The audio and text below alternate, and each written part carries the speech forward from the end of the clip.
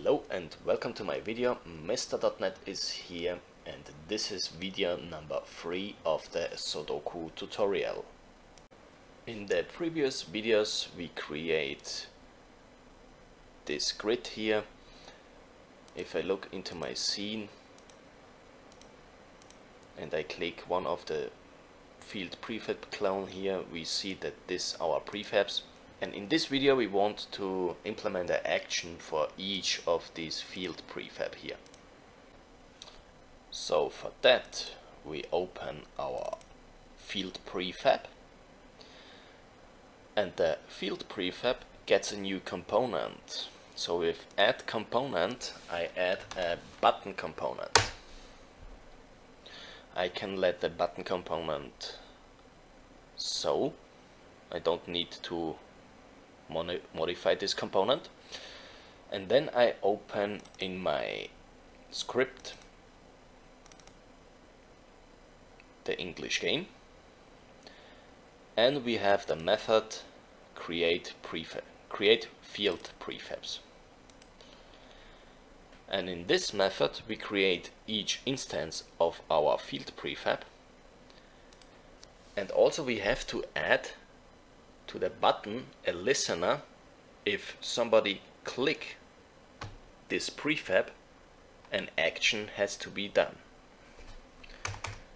So for that I use the instance here, the get component method and I need the button component and the button component has a property on click and on this property I use the method add listener.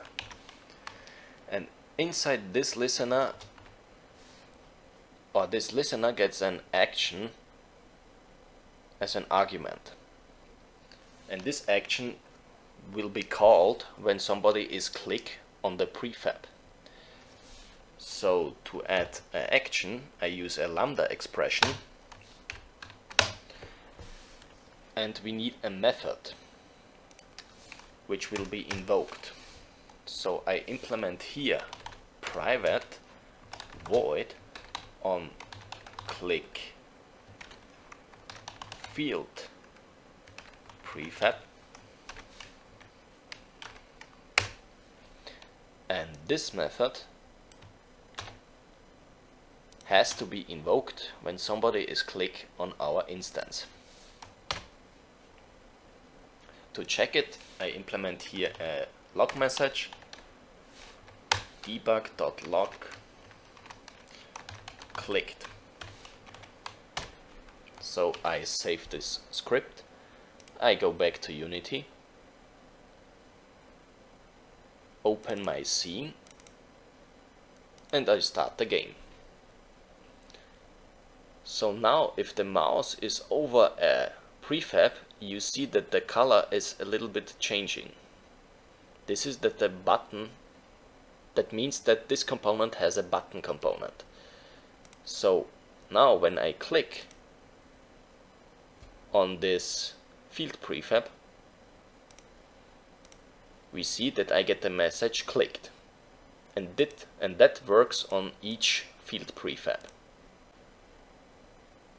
When we open the script and look at our method, when I call this method, in this body I do not know which component is clicked. So for that we have to give this method some information and we know that our English field prefab object contains some information about our field prefab. So I copy here this line and paste it here as an argument for my onClick prefab method. And now I can say clicked on prefab row English prefab object and we see that we don't can access our informations.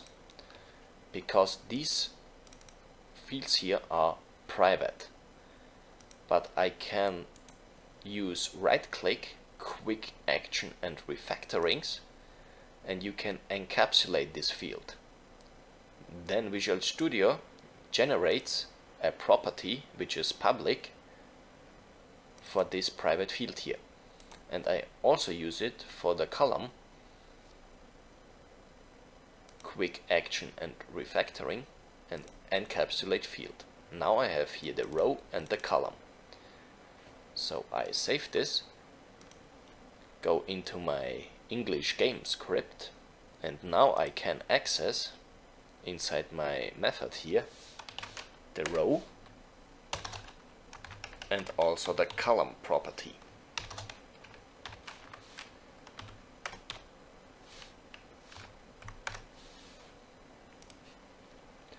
Now we see that this method here is red because we need an argument. We need an English field prefab object. So in this time I don't have an English field property because I instantiate it later in the at runtime. So I copy this line here and paste it here to the end and now I can use here the English field prefab object instance as an argument. So I save this script, go back to Unity, and now I start the game. In my console, when I click the first prefab here, we see clicked on prefab row 0 and column 0 if I click on the last prefab, clicked on prefab row 8 and column 8. And this works for each prefab. So the next thing what I want to do is if I click on a prefab, I want to mark this prefab with a different color for the gamer. And for that we go into our script, into our English field prefab object class and inside this class I implement two methods. The first is a public void called set hover mode and the other method is public void unset hover mode. And when this method is here invoked set hover mode I change the color of the instance of my prefab. So we have here our instance. So instance dot get component.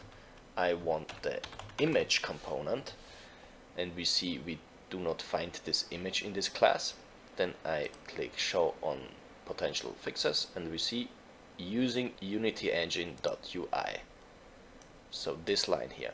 Then we find the image and the image has a property called color and we set the new color of this property. If I click on my prefab we see that we have here the RGB values from 0 to 255 or from 0 to 1 we need here the 0 to 1 and now I can choose a color. If a user mark this prefab as hovered I take a light blue color so we see that the RGB values from 0 to 1 are 0 0.70, 0 0.99 and 0 0.99. So I go back to the script and use these values here as an argument. The first value was the I forgot the first value 0 0.70 was the 0 0.70 float. Then the 0.99 float.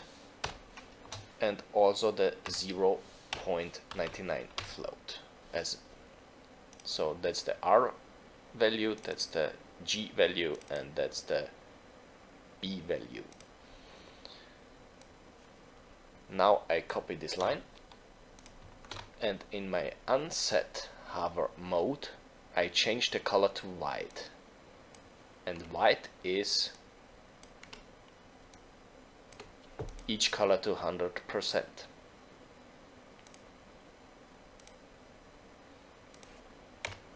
So I save this.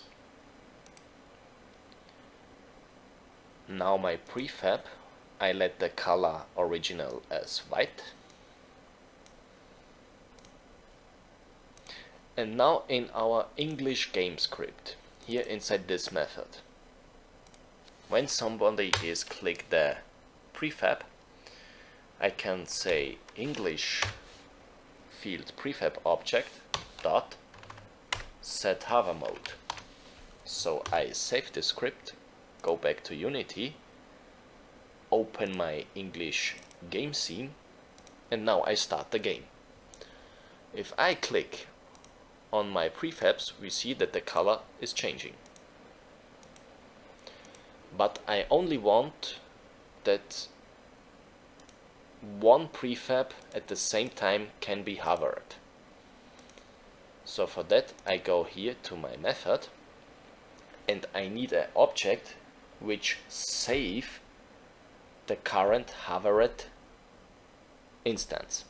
And for that I use here a private English field prefab object. I call it the underline current hovered field prefab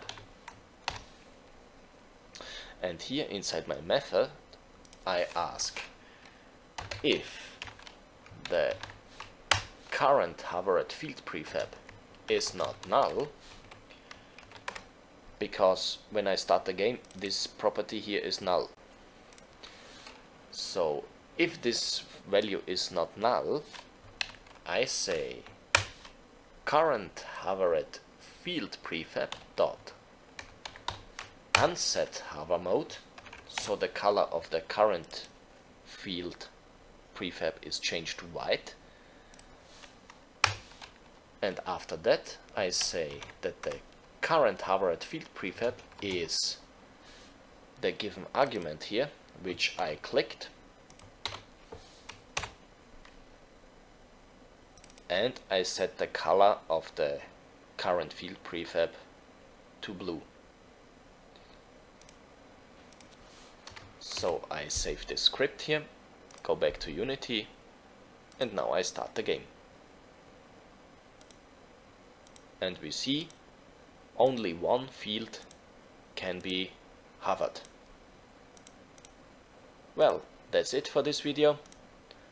Hopefully you like it please subscribe my channel, give me a feedback, and we see us in the next video. Bye!